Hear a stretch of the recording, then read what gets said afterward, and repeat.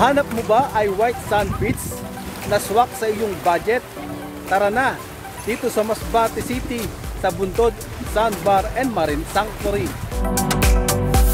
Sa isang maliit na isla sa siyudad ng Masbate, isang hiyas ang matatagpuan, ang Buntod Sandbar and Marine Sanctuary. Sa halagang 20 pesos na entrance fee for adults at 10 pesos naman for kids. Sa loob lamang ng 15 minuto sakay sa bangka ay mararating mo ang lugar mula sa mainland. Malayo pa lang ay matatanaw mo na ang white sand beach sa gitna ng malakristal na tubig.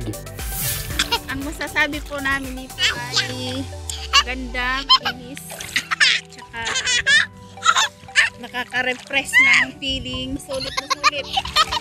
Kagaya nitong makulit po, grabe ang kakulit. Minsan lang lumabas at mag-enjoy sa dagat.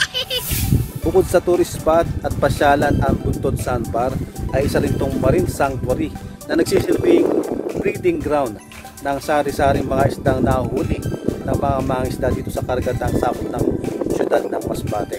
Kung naabutan ng gutom dahil sa paglalakad sa buhanginan at paliligo sa malakristal na tubig dagat, pwedeng magpaihaw ng mga sariwang huling isda. Bukod sa sari-saring isda na makikita sa ilalim ng dagat, masisilayan din ang iba pang laman dagat gaya ng giant clams, helmet shell genus Cassis o budyong, at ang mga naggagandahang corals. Maaari rin mag-scuba diving dito.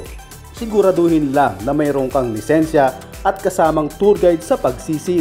Nagbabantay dito ang samahang mangisda ng puro sinalikway upang mapanatili ang kalinisan at maiwasan ang illegal fishing.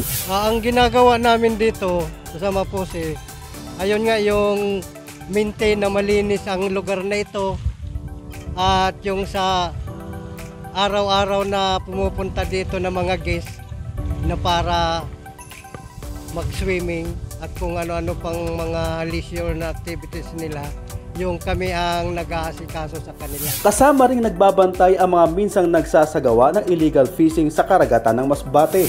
Opo, siya po yung ka- kauna-unahang nag-dynamite fishing dito. Malaking tulong po kasi to sir kasi dati po ang dalang ng huli namin dito. Ngayon, marami na. Hindi na po kami naghihirap sa pagpapangisda. Dati po, nagdadayo pa kayo sa ibang lugar para mangisda. Ngayon, hindi na.